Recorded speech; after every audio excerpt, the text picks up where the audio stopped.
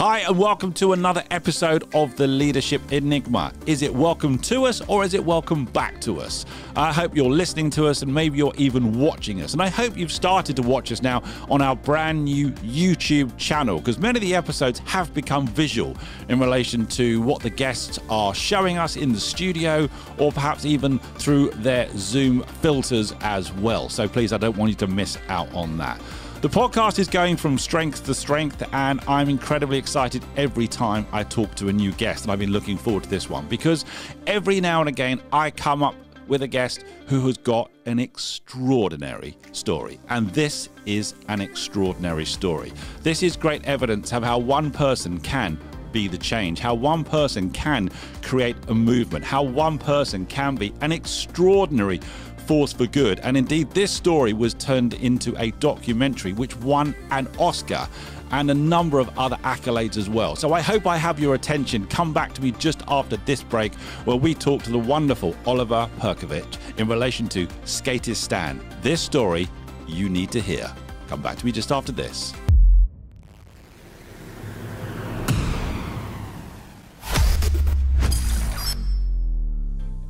You're listening to The Leadership Enigma, powered by Transform Performance International, a podcast for the insatiably curious to explore the power of human centered leadership to create real momentum for positive and sustainable change.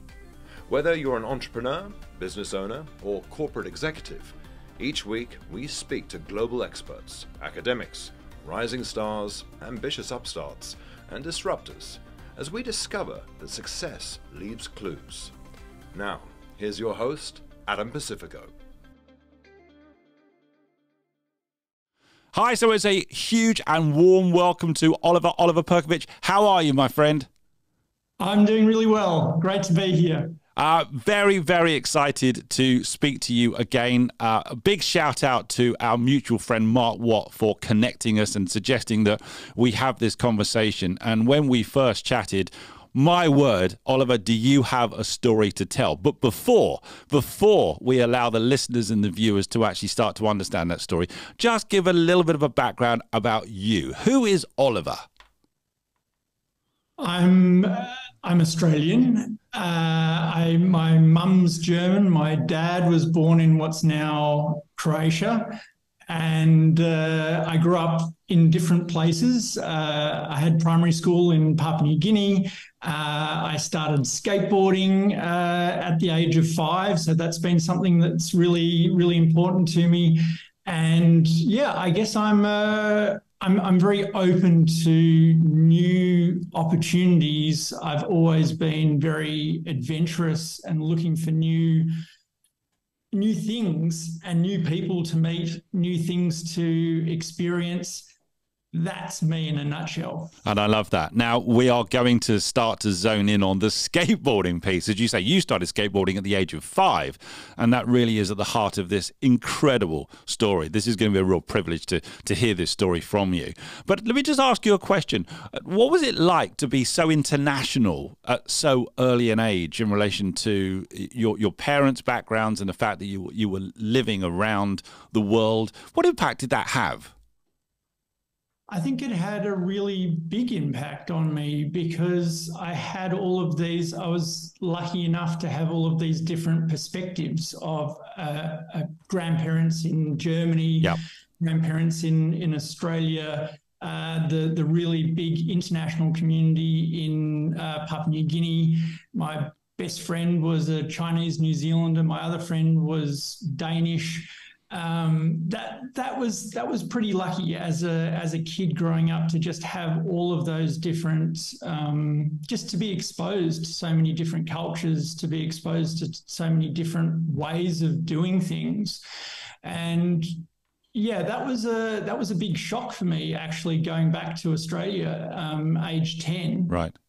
And uh, everybody being just very Australian. And I found it a little bit hard to to, to fit in. And I, I, just try to be as Australian as possible at that, that stage, I, which I'm, I do not know if it's a good thing or a bad thing. I'm trying to work out what that means. I'm trying to be as Australian as possible, you know, and that's not me trying to do an accent, by the way. But with in other words, you've really been attracted to to living and working in a in a melting pot uh, and an incredibly diverse environment. And we talked about that that blend of cultures, which you've you've grown up with from a very early age. Let's start the story because I want to take you back to 2007, where I think that was the year that you went to Afghanistan, uh, because your your girlfriend had got a job there. Is that right? That's right. Um, I was uh, in Germany at the time, and my my girlfriend uh, Shana got a job in Kabul as a researcher. Right. And uh, I followed her there, and was also looking for a job. So that's what that's what brought me to Afghanistan. Well, you had a research background as well. I did, and so I was going. I was. I thought, well, if she can land a research job, I should be able to as as well. And uh, that not having a job and being in Afghanistan was also a big advantage because any employers had a lot of restrictions. They try to keep their staff safe. And that meant that I had a lot more freedom than many other many other foreigners on the on the ground when I when I first arrived in in Kabul. I was I was really at the edge of my comfort zone. It was it was something that was very new. It was very unknown, and uh, I I just I, I try to apply myself as best I could to that to that new new environment. I was very interested in meeting up with. Uh, I, you know, I applied for different I applied yeah. for different jobs, uh, but I also got out and about um, on the on the streets of Kabul, and uh, that was that was pretty that was pretty exciting. Was I bet. Me. Tell me, I mean, most people I think will not have been to Afghanistan. Uh, I've not been to Afghanistan. So tell us what were you what were you seeing and hearing? What was the atmosphere like on the streets of Kabul when you were there in in 2007? What were you picking up on? The it was it was a it was a period of uh, time when there were I mean a, a, quite a large international presence yep. in in Kabul.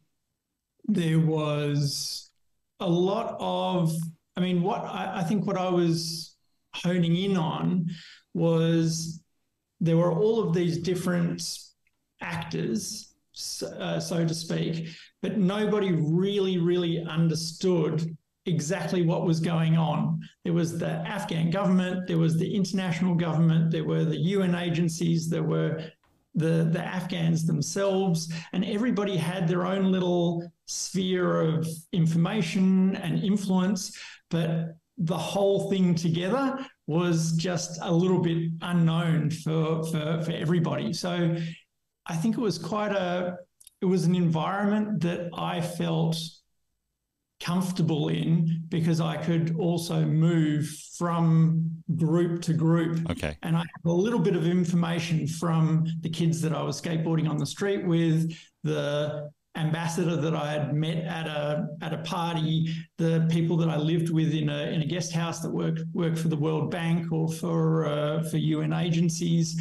Um, I, uh, I, I moved very very fluidly between these different groups. And uh, I, I, saw that straight away I had a little bit of an advantage because other people weren't in touch with so many of these different uh, these different stakeholders. So gotcha.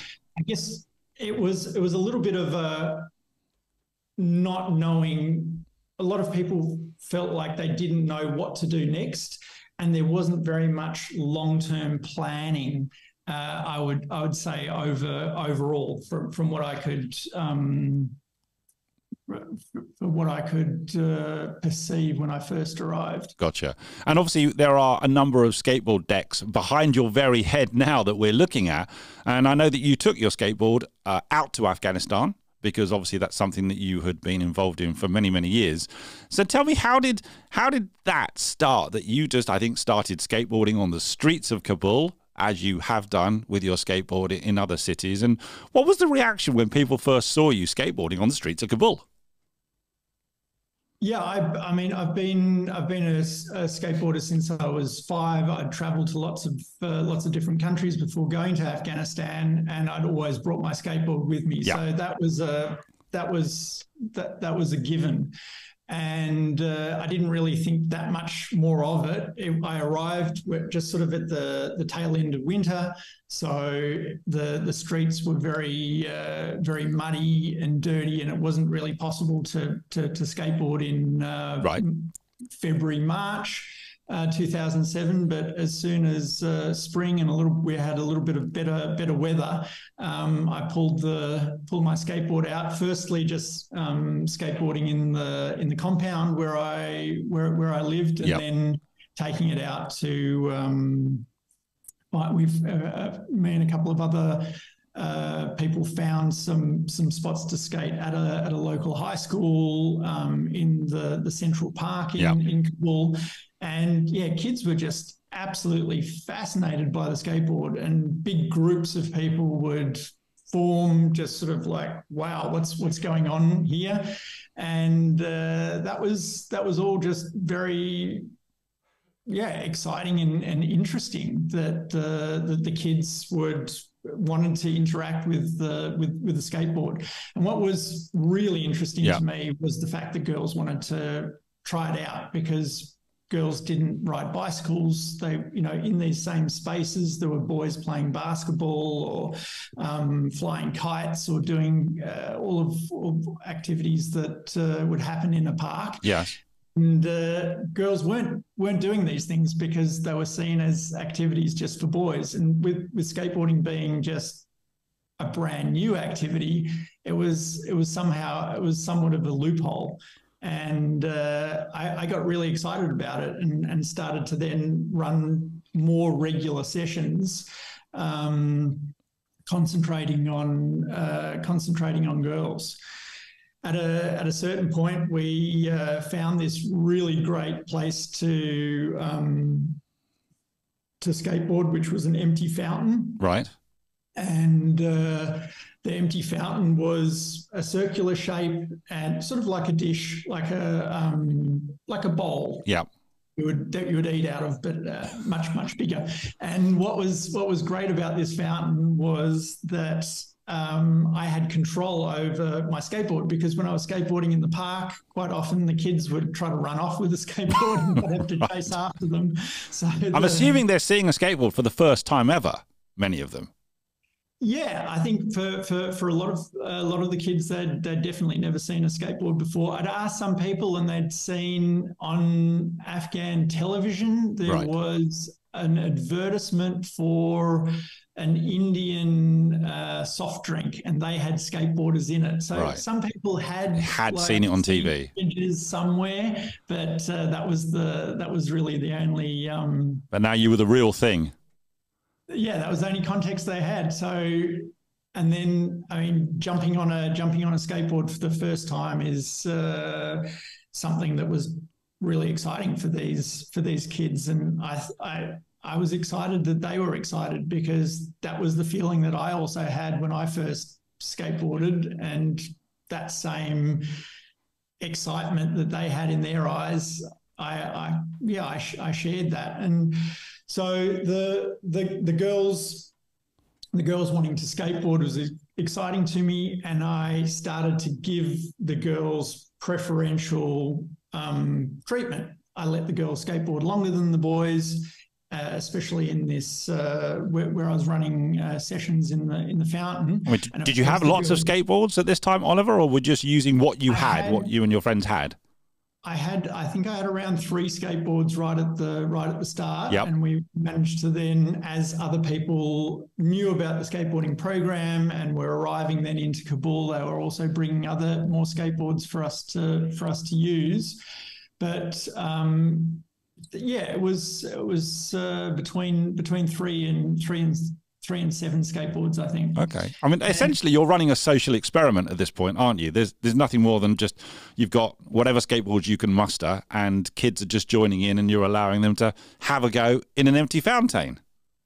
Exactly. And what was what was what was yeah what was interesting was the the the the girls had more time to skate of course they got better than the boys right. because they had more it was uh, they had more opportunities and then i ran competitions in different age groups and of course the girls beat the boys in all of the in all of the age groups because they had access to the to, to practicing more than the more than the boys. So that was that was the the experiment part of it. Right. And um, yeah, that was you, you could see the girls were just so excited to be better than the boys when in a in a in a society where boys are giving given a lot more opportunities and of course then they get better at doing those things because they've got access to those uh, those opportunities. Okay.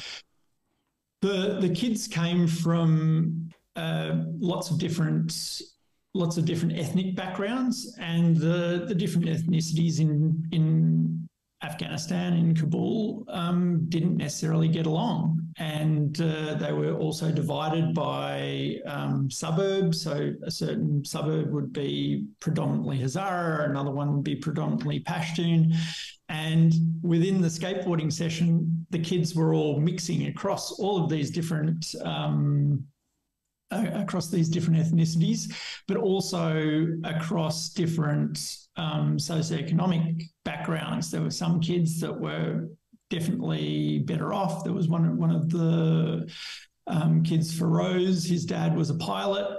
Um, for, for Safi Airlines, which was the Afghan airline, and other kids were basically had been uh, working on the street since they were age five and were, were earning an income for their family as you know for, for as long as they could uh, for as long as they could remember. So that was that was another really exciting element for me and huge real... inclusivity piece isn't there oliver? Forgive me for interrupting what we know don't we that sometimes sport is a massive massive leveler uh, in that all are welcome, regardless of, of, of backgrounds, religious backgrounds, socio-economic backgrounds. And so it sounds as if you started to see evidence of this inclusivity and also the power of pulling people together, the, the joy, the new experience that, that people were having. At what point did you realize that this was more than just you running a social experiment in a fountain with seven skateboards? At what point did you think, hang on, this is really powerful. There's something here. Uh, so, at what point did you think I've got to do more? The, the, the there was a real turning point in those in those sessions at uh, at the Macaron Fountain, yep. where there was a a, a girl session um, one day, and uh, the the the the the girls that came from all different backgrounds uh, rich and poor, different ethnicities. After skateboarding, they they all held hands and uh, started to dance around in a circle in the in the fountain and and sing a song together. And that that's that's not what Amazing. normally happens after, uh, after a skateboarding yeah. session. That's a, that's a very very very out there. But it was such a it was a real eureka moment for me because there was that that's kind of what my wish for Afghanistan was.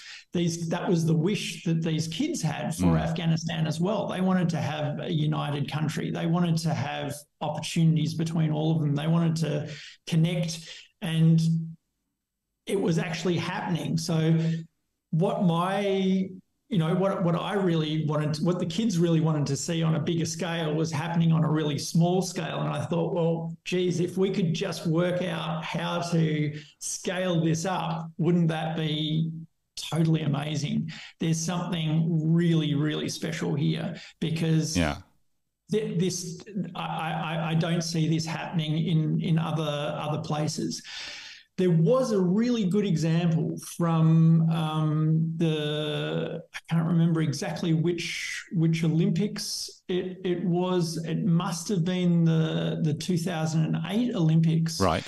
Where there was an Afghan uh, bronze medal in the Taekwondo. Okay, what was very what was very significant about it was that the the person that won the medal, Nikpai, was Hazara, and Hazara are basically the the lowest in the the pecking order of ethnicities in right. Afghanistan. Yet it was celebrated by the whole country. They were all excited that an Afghan had won uh, a medal. A medal. And, Yeah. and so I, I saw this. I mean, so many people understand the power of sport to unite people and bring people together. That was really a um, when when he won that medal, people came out into the streets and but they came from all different backgrounds and, and celebrated that. It's And amazing. that, that's normally that that didn't happen. There were many protests and many different times that people would come out onto the streets in Kabul, but it would be usually um, within a certain ethnicity, and and this was this was a change. So you saw that unifying power, didn't didn't you? I, I want to give everyone a little bit of context because when we first spoke, I think you said to me that half the population of Afghanistan is under 15 years old. Is that correct? That's that's right, and seventy percent is uh, under the age of, of twenty five. So a very very young young dem- demographic, and also the demographic that really is interested in um, having somewhat of a different identity to that of their of their parents or their older brothers and sisters Right.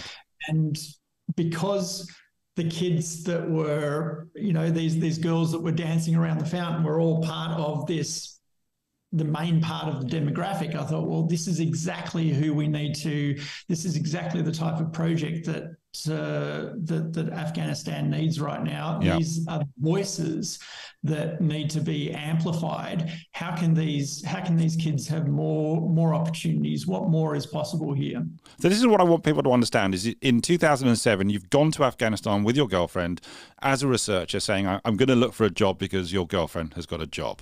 You've taken your skateboard there because you've been skateboarding since the age of five, and suddenly, in some ways, you've rolled across, no pun intended, you've rolled across this opportunity of of being able to unite children from all walks of life with the power of skateboarding. And you've described this incredible scene in the fountain. Am I right in thinking that you actually started to really leverage this power and you, you started to link it to schooling? Is that right? Where you, you, you got skateboarding and schooling in some ways to be connected? And yeah, and I mean this this came this came also directly from the children them, themselves. Right. Um, the the wanting to wanting to skateboard. I didn't go to Afghanistan with the idea of starting a skateboarding project. I didn't go into the streets of Kabul with the idea of teaching kids to to skate. Um, I, I went out there to, to to skateboard, and they just really wanted to they, they really wanted to use my board instead of watch me skateboarding. And so then this next, uh, the next step was that the kids that were part of the the skateboarding program, they were they they came to me and said, "Hey, we don't we don't go to school, and we really want to go to school. Can you help us go to school?" And I, I, kind of shrugged my shoulders at that point and thought, I've got no idea how to get you back to back to school. Yeah. I mean, if, if you've never been, but let's see what we can let's see what we can do. Um, I really wanted Afghans themselves, and especially this most important demographic, the kids under 15, to be leading what they actually wanted in the in the country and if they were then asking for education then this was exactly what we needed to follow follow up on and and try to try to deliver deliver on and so I thought that was a that was an opportunity to to help. I needed I didn't have very much money at the time. I was literally living on 15 20 dollars a week like Right. really nothing. But I could afford uh, a dollar a session for the for for young girls to teach the other girls because that was quite important from a from a cultural um, perspective Okay. and uh, I did a one of one of the girls for Zilla. Um, she was going to school, and then she uh, her she was uh, twelve years old, and her parents pulled her out of school to basically beg full time. And she she uh, I saw her as having real potential as a skateboard instructor, and she was already a role model for the other girls. She came from this really poor background, but was a really good skateboarder. So I did a, I came into an agreement with her parents that if I'd pay her a dollar a session, she would they would allow her to go back to school. So that was the first link to to education that we that we had. Yeah. And so she came on and was doing these uh, skateboarding uh, instruction for for the other girls and, and building out that uh, skateboarding in the street program but she was also then able to go to able to go to school and we we helped a couple of couple of other kids to to also uh, get back to school in this way, but it also wasn't very scalable. You know, there was only a certain amount of uh, skateboard instructors that we needed, and um, I didn't have very much money. And but at least this link to education yeah. was made. But and you're changing people's lives, uh, albeit one at a time, Oliver. But you, you're you're changing their lives. It was it was a it was it was simply a, a, a, chance to listen to them for to to what they were what they were asking for, and even with really really limited resources myself, it was possible to make um, make make some changes in these kids' lives, and that was that was exciting. That was that was exactly where I wanted to wanted to be, and it also made me think bigger again because the girls that were 12 years old they then they started to really get into problems with their parents or their older brothers and sisters taking part in right. sessions in a public space. After the age of 12 boys and girls need to be separated in in Afghanistan. Right. And um, for the girls to continue to skateboard age 13, age 14, age 15, they needed to be in a private space with no males at all. Right. Um, and so that pushed me to think, well, how would that actually be possible? And we just started to dream bigger and thought, well, what if we create an indoor uh, facility so that the girls can just keep on uh, keep on skateboarding because they were all so excited to do that. And there was a group of around 25 girls and about 50 boys that were skateboarding at this stage. Wow. But because of the limited skateboards, the limited space, yeah. and the time that I was giving the girls, uh, that was uh, that that's that's kind of what the what the scale of it was. And I managed to meet with the um, the president of the Olympic Committee, uh, who just came in brand new uh, into that role, uh, Zahir Aghbar, and he came to the the fountain and saw the sessions that, that I was running. How did that come about, Oliver? How, how, how did it come about that he came to the fountain? Was that uh, you'd arranged it or by chance? That was uh, that was a little bit of a, a chance meeting between. Uh, I was playing. Uh, my mum being German, I spoke German. There were right. some Afghans that had uh, lived in Germany previously, yep. and I was playing football with them and one of them had gone to high school together with the incoming president of the Olympic Committee. Right. They knew that I was like trying to make a connection to the Olympic Committee. Oh, that's how life works. Who, who they knew, and then I managed to have a meeting with right. him at the Olympic Committee, and then I invited him to to to see what was happening at the fountain, and he was blown away. I bet. And he said, "Right, I've got I've got land." Let's uh, let's let's build a let's build a skateboarding uh, complex, and uh, that was then the point in time that I started to just go knocking on doors and see if I could get some support. Yep. To build uh, an indoor facility on the grounds of the, the Afghan Olympic uh, Committee. And you did it uh, piece piece by piece it came came together. The the uh, Canadian government were the the first people to uh, jump on, right? And that was that was really just again a chance meeting. I was sitting in a cafe in in Kabul on a Skype call with with somebody, and I was really desperate. It was like, if I don't get $5,000 right now, I can't keep on doing this uh, program that has started and is going on. And uh, a journalist was sitting in the same. Uh, uh, the, the, same cafe overheard my Skype conversation and then came up to me after my call and said, Hey, I can uh, introduce you to the Canadian embassy. And so the Canadians came on board uh, with, with $15,000. Uh, then I managed to, to uh, snag a meeting with, with the Norwegian ambassador. He doubled that amount.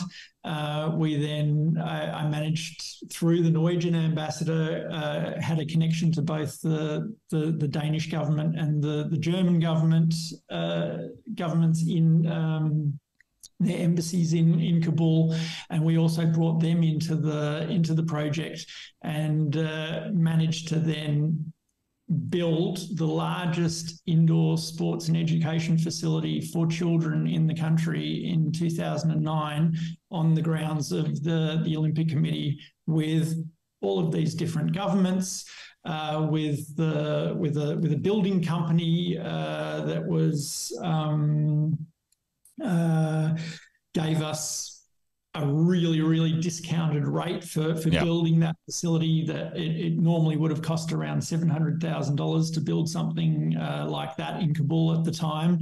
And they offered it uh, to, to Skateistan for, for 200000 And uh, I the, the donors were all just absolute had their had their minds blown. What I was able to do with very limited funding um, and uh, a really good connection to the Afghan government in terms of working together with the Afghan Olympic Committee.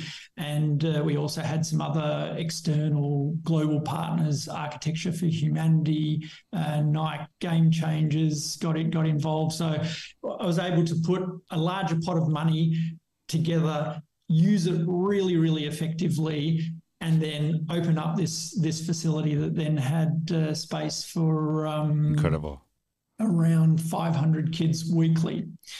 I only allowed as many boys to take part as we had girls enrolled in the program. Right. So from day one again we had in the with with the skate school we had um, we we had 50% uh, girls uh, girls participation.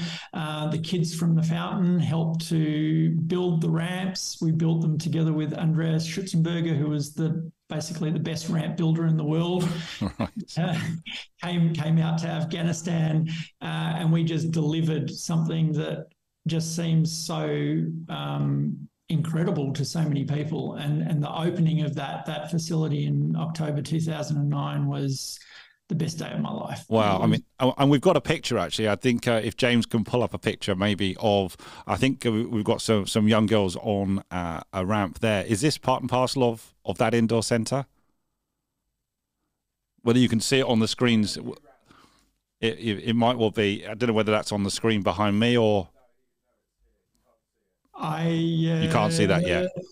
The yeah the um I I I I, I can't. Uh, can't see it. The the the facility was uh, it's a K-Span uh, K-Span building that was um, I mean, it, it, had four classroom spaces. It had a large multi sport uh, court, so you could play basketball. We also built a climbing wall, and then behind it, uh, a large indoor. Um, uh, skate skate park, and we then were running uh, one hour of skateboarding with one hour in the classroom. Incredible. And this was yeah. again the connection between um, skateboarding, skateboarding, and education. I, I mean, th- this is an unbelievable story. It, it, it's phenomenal, which is why I really wanted to have this conversation with you so people can hear uh, and watch this uh, and in some ways be in awe. An amazing example of having no resources, but an enormous amount of resourcefulness. You know, you've gone from, as you say, may be able to share a one dollar with getting just one girl uh, uh, able to help you, and then this has exploded, and you've managed to get resources and buy-in, and people have seen your efforts. And and again, what an amazing example of one person being a change. And Skateistan was was born. And tell us wh- where is it now? You know, 2023. Uh, what is the organization now? What's it doing? What's its size? Tell us kind of modern day story. Uh, right now, um, we we have uh, projects. Uh, we've, we've got twelve projects around the around the world. Yep. Uh, we've got the, the skate schools, three skate schools in Afghanistan that continue to, to operate. We've got a skate school in uh, Johannesburg, South Africa, and also in Phnom Penh in Cambodia. Right. And then we've got uh, partner projects in a number of other other countries: Kenya, Bolivia, Albania, uh, Sweden, um, uh, Jordan, Iraq, Lebanon. There's there's there's quite a lot of uh, a lot of projects, and we've also got then a knowledge sharing network called the Good Push Alliance. And since Skateistan started, it has inspired a lot of other social skateboard projects to pop up all around the world. They saw what we were doing. They were they were really excited what they saw, especially in terms of that inclusion piece, being able to include uh, children living with disabilities, uh, girls in the programming, um, really being these safe spaces and, and hubs for uh, creating amazing, amazing little communities. And we're now connected with over 850 social skate projects in over 100 countries. And uh, we share knowledge with, with them. We've got a um, we, we run webinars, we've got an e-learning platform, and all of those resources are available free to, to all of these uh, all of these organizations. We don't see them as competitors at all. They're all part of our ecosystem. They're all part of our social skate world and uh, we want to we want to see them succeed. And we've made so many mistakes over the last fifteen years, and we don't want them to learn. To learning as you go. I think it's called fixing as you fly, isn't it? and I want people to understand this is an incredibly inspiring and humbling story where a social experiment on the streets of Kabul with literally nothing, maybe six or seven skateboards, has now turned into an incredible movement across the world now, Oliver. And and it's also turned into a, a documentary. I think it was uh, learning to skateboard in the war zone, and in brackets, if you're a girl. Have I got the title right?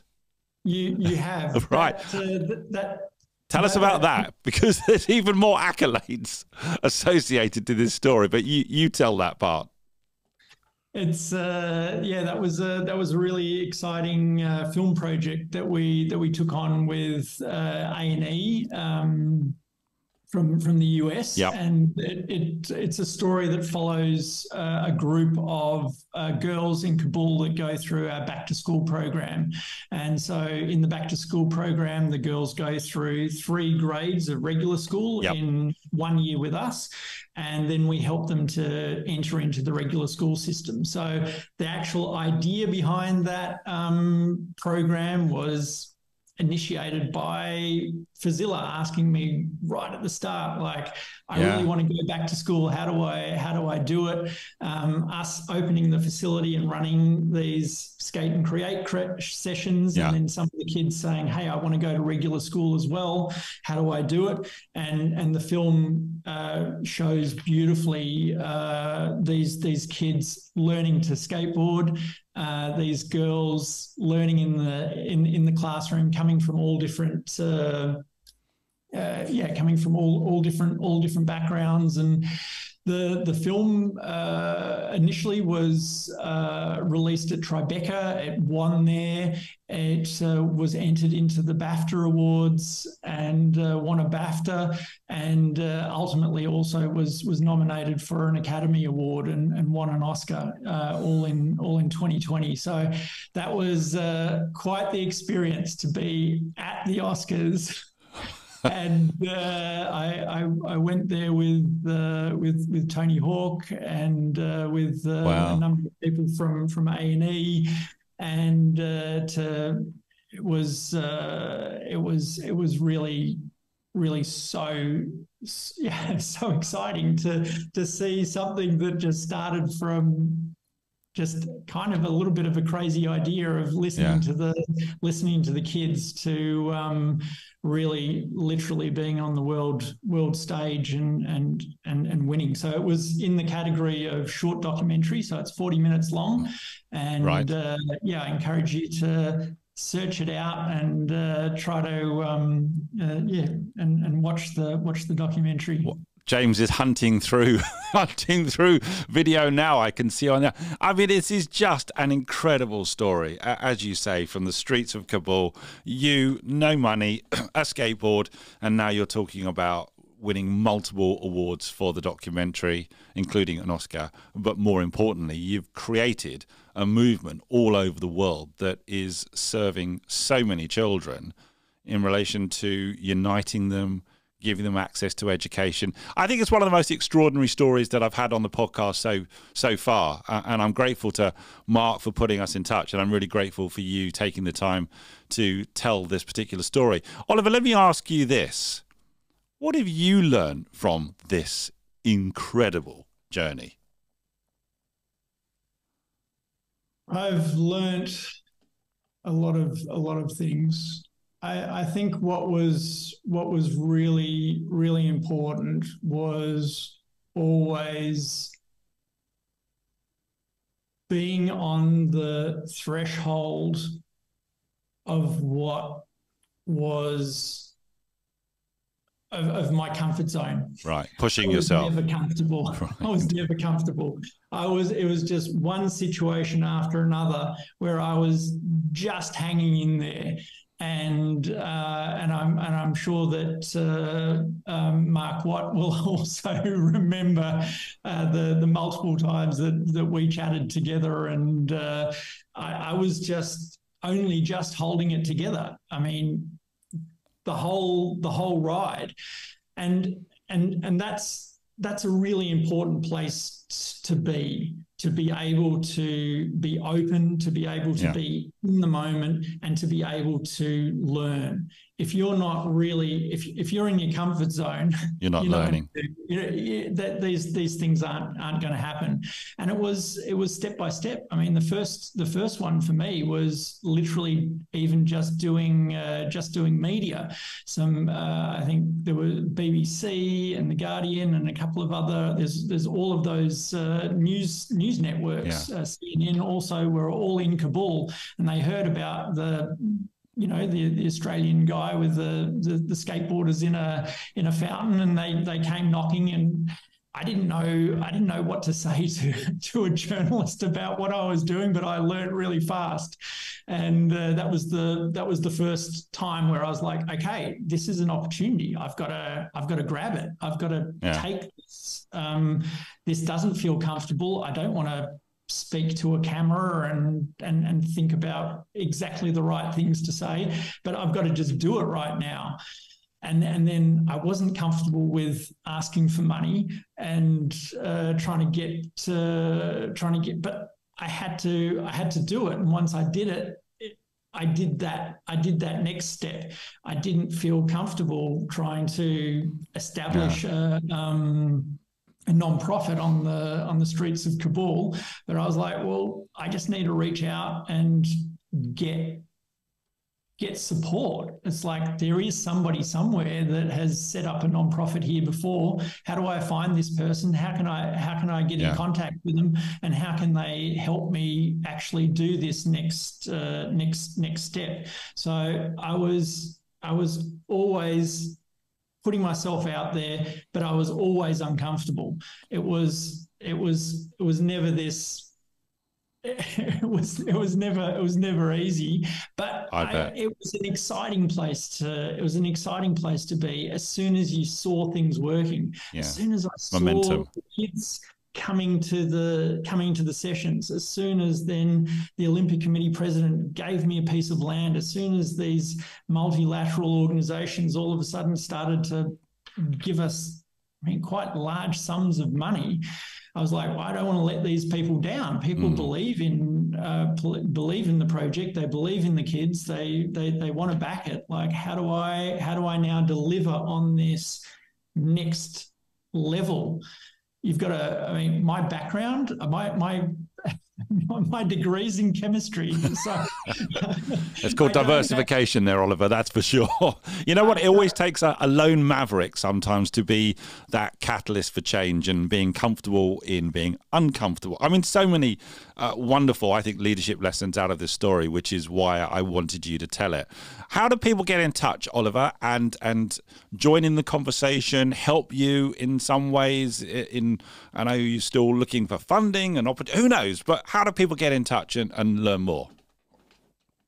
Uh, Skateistan has a website, so skateistan.org. Yep. Um, we've also been very, very active on social media right from the start. So uh, Instagram and Twitter and, and Facebook are, are really uh, important platforms. Okay. LinkedIn, uh, we we have updates all the time. So find the at Skateistan and uh, join in and uh, get um, get involved. You can, you can get uh, get all of the all of the updates there. Uh, we we run multiple uh, fundraisers every every year, and uh, we're we're currently looking for some larger collaborations. So we're really interested to to work with companies that could imagine backing us for five years, and we're we're we're really the the next step is this global uh, global expansion right. and utilizing those 850 plus social skate projects uh, all over the world that um, need uh, want to grow uh, have all of the knowledge from us in terms of how to do it really well and uh, we want to we want to try to get as many resources right there to the ground where it really makes a really makes a big a big difference. These are local projects run by locals with uh, very very uh, very grassroots projects a lot a lot of the time that have huge impacts in their okay. in their community so yeah people uh, definitely social media is and, and the platforms that you regularly use are a, a great way to uh, stay in um, stay in touch with with with us and, right. and, find out more. Okay. Well, I hope this episode uh, does its part in getting this story out, uh, and I certainly am. Uh, incredibly humbled and inspired by this story. Oliver, I just want to say a huge thank you for taking the time to come onto the Leadership Enigma. My absolute pleasure. Thank you so much for having me. Take great care. Join us again next week for more tips and strategies on the Leadership Enigma. We'd love to hear your comments on today's show, as well as suggestions for future topics and guests. Get in touch with your host on LinkedIn or visit the dedicated website www.leadersenigma.com, powered by Transform Performance International, where you can access our exclusive learning, including books, videos, bonus content, assessments, and more. Please don't forget to rate, review, and subscribe on all your major podcast platforms. Thanks for listening.